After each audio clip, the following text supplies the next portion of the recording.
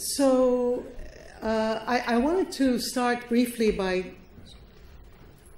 and that's all, okay. I wanted to start briefly by giving some examples of the track record of negotiations and then a touch on the PLO and PA response to Trump's declaration, and finally discuss some ways to build an alternative future.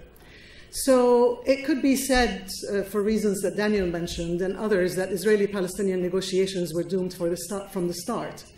And uh, um, there are several examples of how this worked out, uh, or, or uh, several analyses. For example, in, in uh, 2010, my Al Shabaka colleague Camille Mansour, who was part of the Madrid negotiations team, drew on his extensive knowledge of the negotiations to develop several negotiating scenarios relating to key areas of sovereignty. He looked at alliances, crossings, borders, and military outposts.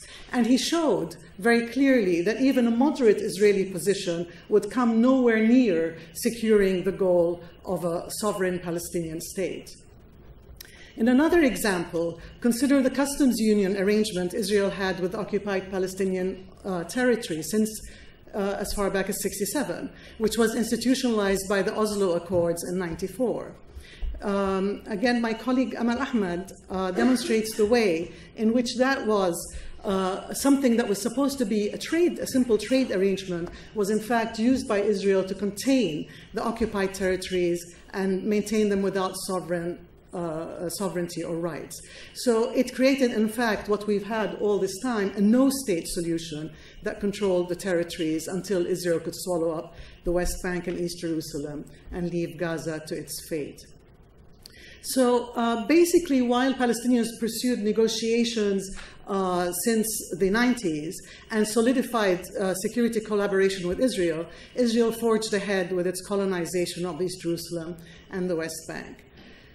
Um, this may or may not have been the inevitable conclusion of the peace process, but it is certain that if and when a final status agreement had or could have been reached, Israel would have kept security control over whatever Palestinian state had been established. And even Yitzhak Rabin made that clear.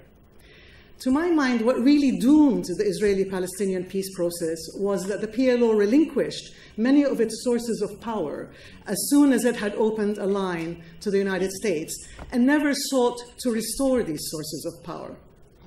So we've uh, mentioned earlier uh, the International uh, Court of Justice advisory opinion of 2004 against Israel's separation wall in the West Bank. It could have been used uh, uh, at any time since then and now, it, could it, it, made a very, very clear call on all states not to recognize the illegal situation arising from the wall um, and not to provide any aid or assistance to uh, uh states to maintain that situation.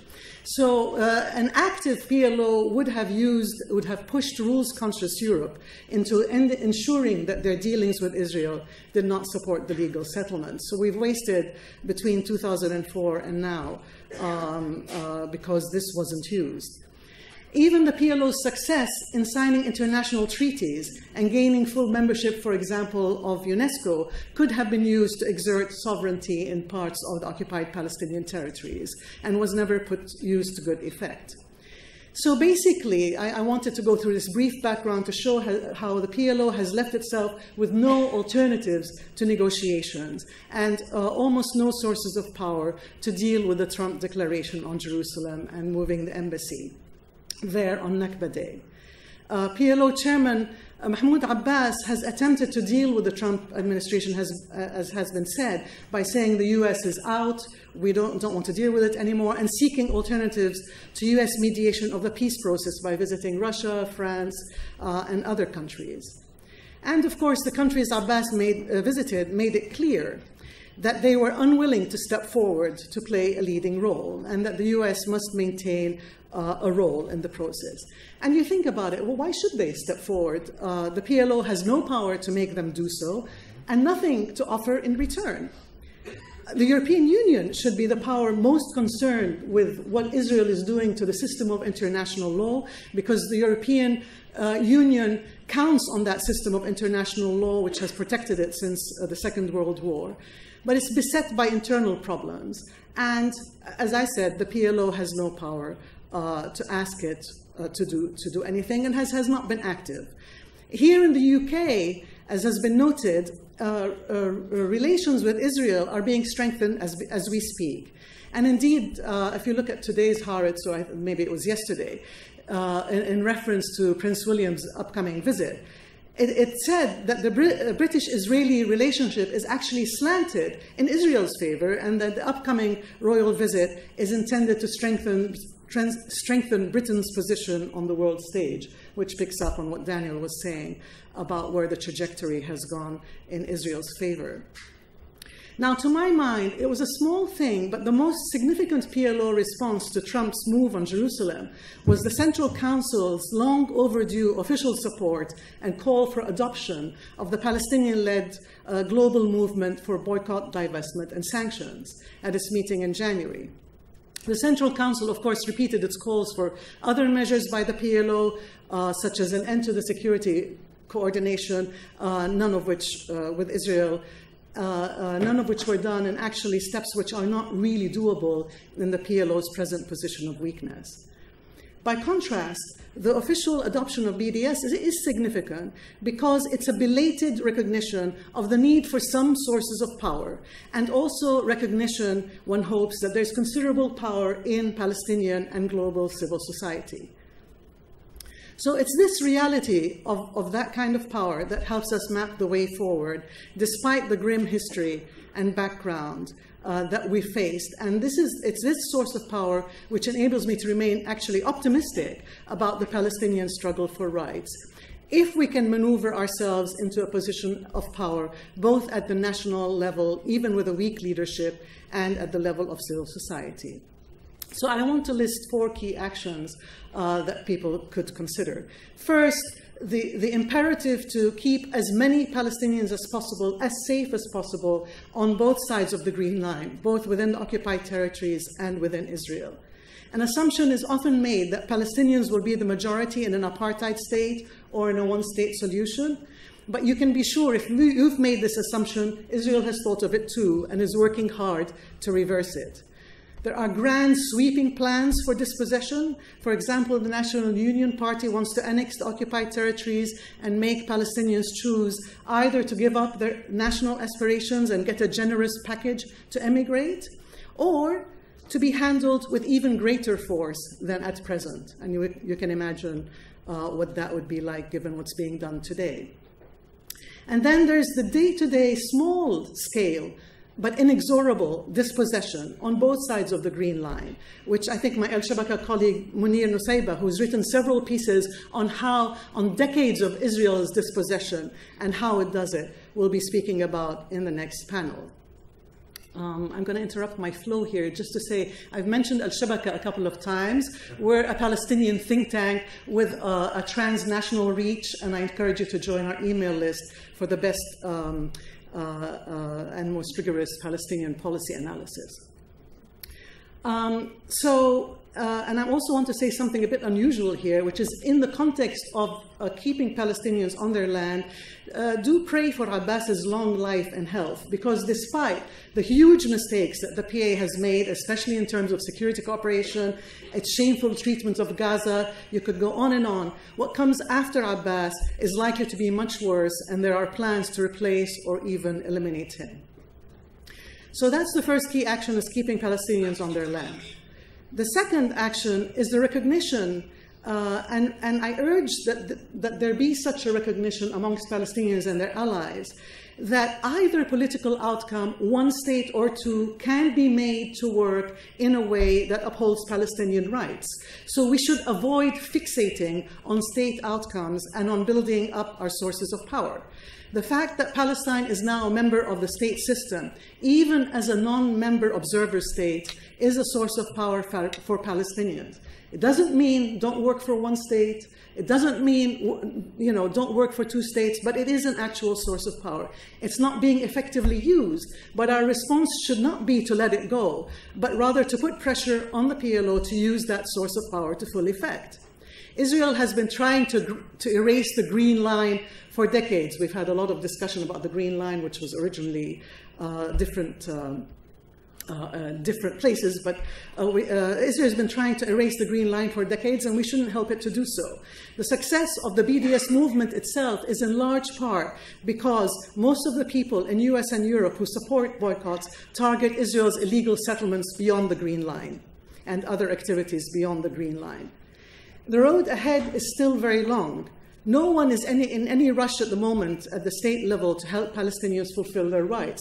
So there's no need to decide right now on the ultimate political outcome. Work for either, but focus on the sources of power you need to get there. Third, I think we need to keep our eyes on hope because this is a grim and long business that we're in. And there are many long term trends in this conflict that are sources of hope. And Daniel has mentioned one that I, I always, often turn to myself, um, which is uh, which actually I think predates uh, the Trump administration and, and, came about because of Israel's repeated attacks on Gaza, um, which has led a, a quickly growing, sm small, but, but not that small. I mean, an organization like Jewish Voice for Peace in, in the States has about 200,000 people on its, on its email list. And, and this change uh, uh, of, amongst Jews who are now mobilized to work for human rights um, uh, and, and for Palestinian rights in what is now a very strong, as part of what's a very strong US Palestine solidarity movement, is a big shift and a big source of power. There are also growing rifts uh, between the mainstream Jewish community and Israel. Uh, because uh, Israel is beginning to treat reform and conservative Jews, who account for uh, uh two thirds of US Jews, and, and, seems to be putting all its bets on Orthodox Jews, they're beginning to treat the Reform and Conservative Jews a bit like second class Jews. So, shifts like this, which are also happening in the Democratic Party, will over time erode political and military support that Israel receives from the US and uh, uh, generate a shift in the political power. And fourth, last but not least, we need a unifying vision for the Palestinian people. Attention, when we talk about unifying the Palestinian people, attention is usually fixated on uh, Fatah and Hamas reconciliation, which is important, but for many reasons has been and is likely to continue to be elusive. We can sidestep this obstacle by having a, a unifying vision that enables all Palestinians and their allies to work towards the same goals, whether in refugee camps, in exile, under siege, under occupation, or, uh, in, and under occupation, or in Israel. And I want to stress here the importance of the Palestinian citizens of Israel, and not just because uh, Dr. Tibi is here. Uh, the Palestinian citizens of Israel know it better than any of us. And some of them are amongst our best strategic thinkers. And when you think back to 2006, in those years where they were preparing uh, the future vision document, and uh, in, in, which there was a strong call on Israel to become the state of all its citizens. Uh, that, uh, that's the kind of strategic thinking that we need uh, for, for this movement. A unifying Palestinian narrative actually already exists that is not tied uh, to uh, political outcomes because we're not at the stage where we can decide or, or, do anything about the political outcome. That unifying narrative is that Palestinians should work for freedom, justice, and equality, which are the goals identified by the BDS movement, and they're goals that all Palestinians can aspire to and support. Each one of those goals to speaks to each uh, uh, to one of the three segments of the Palestinian people. Uh, freedom speaks to freedom from occupation, uh, justice speaks to equality for the Palestinian citizens of Israel, uh, sorry, justice speaks to, to, the right of return for refugees, and equality speaks to equality for the Palestinian citizens of Israel. The problem now is that uh, the goals are subsumed, they're not clear. I think it needs, for, for, several reasons, those goals need to be now placed front and center because they offer uh, a compelling vision, a positive vision that can quickly occupy the hard ground. Currently, the Palestinians and their allies are defined by what they're against against apartheid, uh, uh, you know, against Israel, against this, against that. We need to be identified more by what we're for. We're for freedom, we're for justice and equality. And those three goals can be achieved in one state or two. Thank you very much.